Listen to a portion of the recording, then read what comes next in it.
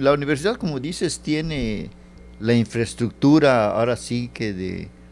recursos humanos, recursos físicos e incluso financieros con becas, para que los estudiantes que soliciten un posgrado lo puedan realizar, siempre y cuando hayan cumplido con los criterios de calidad para poder ingresar. Esto hace que la universidad esté ofreciendo un número suficiente de espacios para poder realizar un posgrado